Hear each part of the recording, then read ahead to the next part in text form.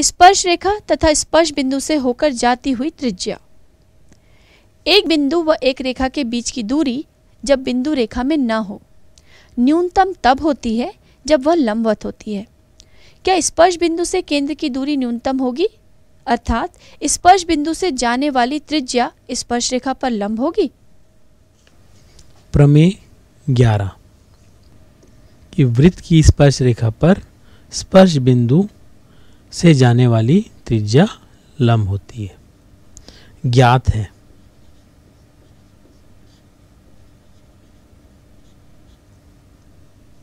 एक वृत्त का केंद्र।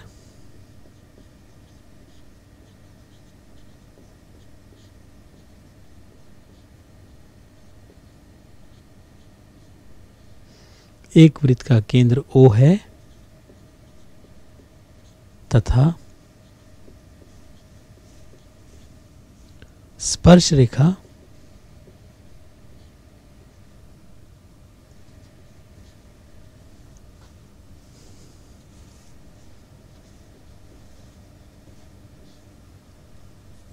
ए बी तथा स्पर्श रेखा ए बी स्पर्श बिंदु स्पर्श बिंदु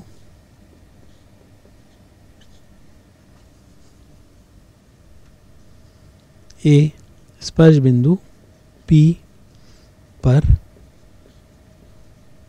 वृत्त को स्पर्श करती है।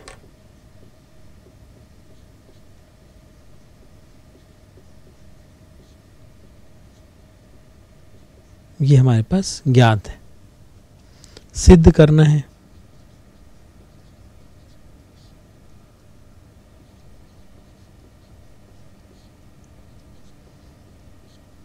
हमें सिद्ध करना है कि ओपी लंब है ए बी से।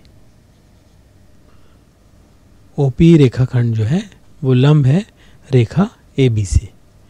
रचना। ए बी पर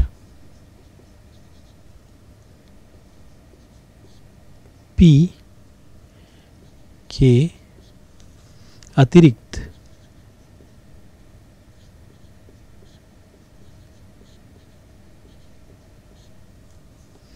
अन्य बिंदु।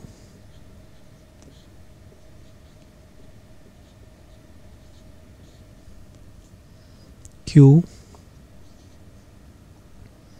आर एस लीजिए। और ओ से मिलाइए।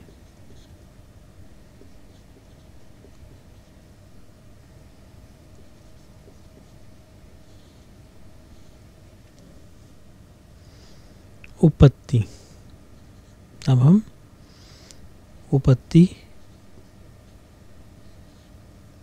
देखते हैं। बिंदु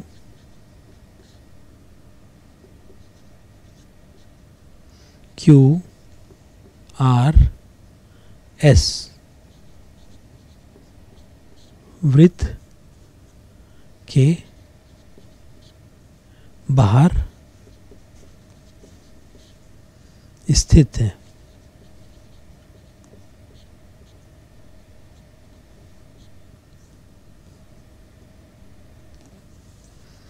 वृत्त के वृत्त के बाह्य भाग में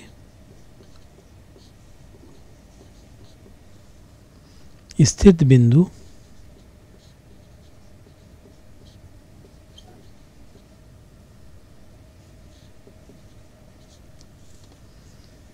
की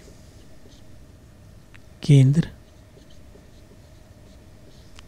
बिंदु क्यू आर एस वृत्त के बाहर स्थित है और वृत्त के बाह्य भाग में स्थित बिंदु की केंद्र से दूरी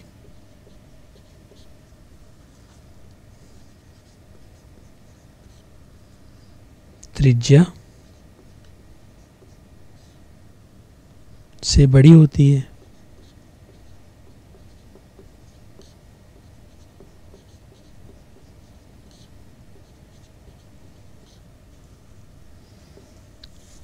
अतः ओपी की लंबाई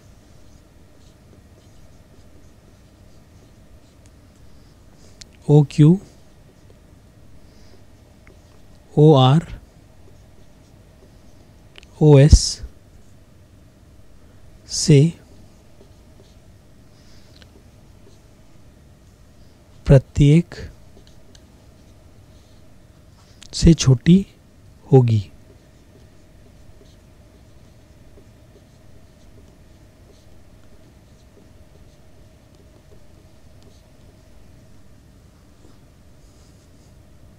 अतः दूरी ओपी बिंदु ओ से ए बी के अन्य बिंदु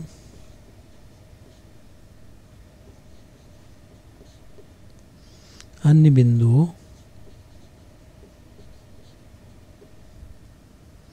से न्यूनतम